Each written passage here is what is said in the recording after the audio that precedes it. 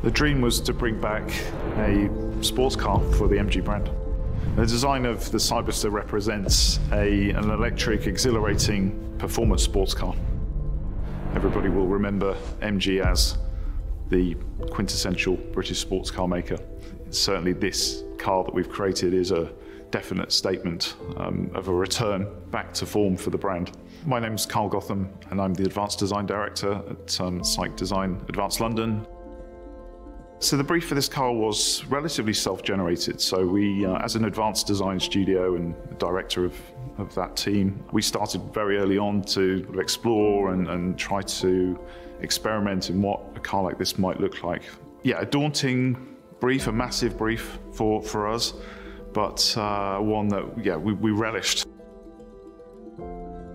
MG has enjoyed spectacular recent success. As the UK's fastest growing mainstream brand over the last two consecutive years, we've built an enviable reputation and have a firm vision for developing high quality cars and being at the forefront of the drive towards electrification.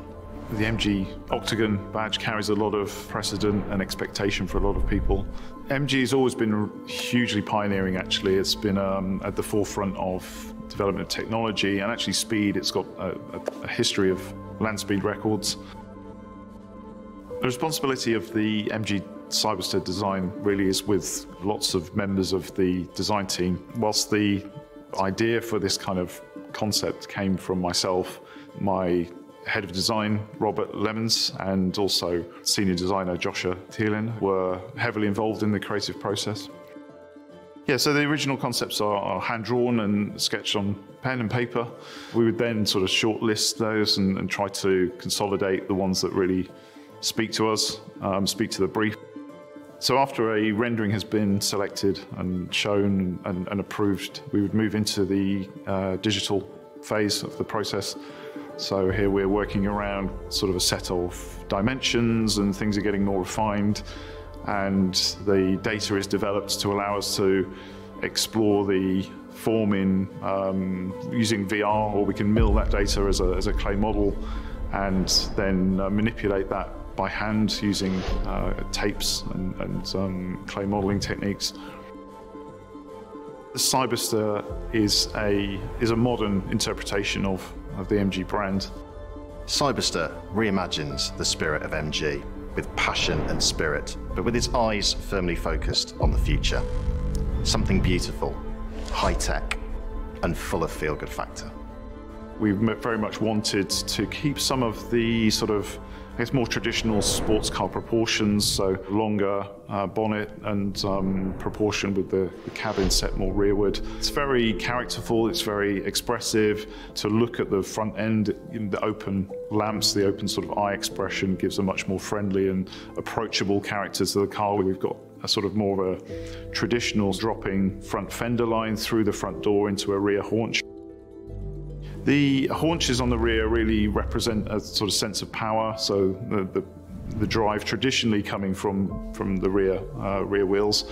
Uh, on the Cyberster, it's, it's going to be all-wheel drives. So aerodynamics have played a big role in the development of this car. So we've got, you know, very long, you'll see a very low nose um, that helps to encourage the airflow over the top of the car.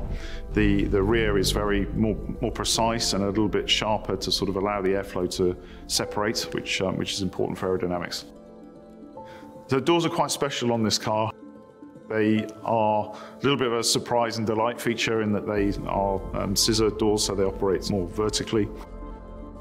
The lower intake on the, the front bumper is uh, there obviously to help cooling and the design of that is split which which echoes a little bit of um, the MG's sort of grille design of the past. So the light bar on the rear is designed to be very precise and fine so representing this electric character of the car.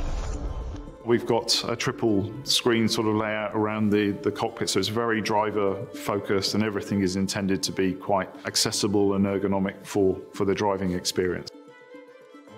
This car is really important for MG's new chapter. It sort of really is a statement of intent. The brand is growing year on year. It's one of the fastest growing brands in the world actually at the moment. So what better time than the start of our 100th year anniversary to be doing a brand new high performance two seater electric sports car. It's got a huge journey ahead of it, so this, this, this car will really help to put some more gravity for people that don't really know the brand. It's certainly going to get the attention and, and um, grab some headlines, hopefully, so people are drawn to what MG are doing and what we're going to be doing in the future.